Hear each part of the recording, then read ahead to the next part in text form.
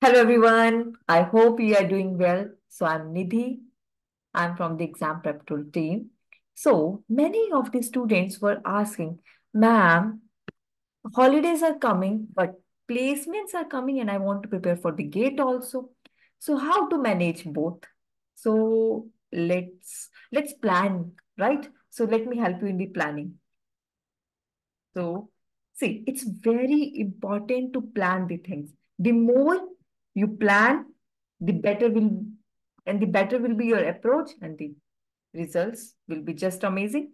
So see, now our target should be we want gate also, placements also, right? So you should plan in that way.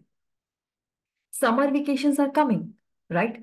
And suppose your placements will start from August. So you should prepare both gate and placements parallelly. How? Let's see. See, first, very important, there are some subjects which are common, like the operating systems, database management systems, aptitude, data structures and algorithms, and coding. See, once you are very good with data structures and algorithms, you can start practice coding. Okay. And these subjects are very important. These subjects, this and this, are in GATE also.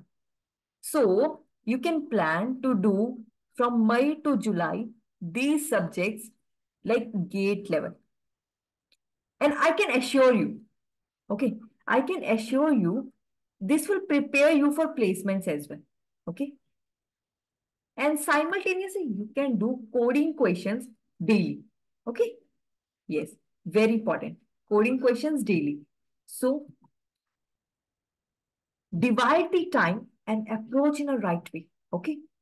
Divide time and approach in a right way. It's very important. And in right way. And for your help, okay, for your help to make your journey easy, we are having a full IITian team, okay. See, in the EPT team, we are having Reddy sir. He teaches all the subjects so nicely. Then we are having AR1 also. Then we are having, see, all the IIT alumni. See, okay, uh, Mitali ma'am, Richa ma'am, Reddy sir, Abhinav sir, and I am Nidhi. So all the team is well organized and IITian team.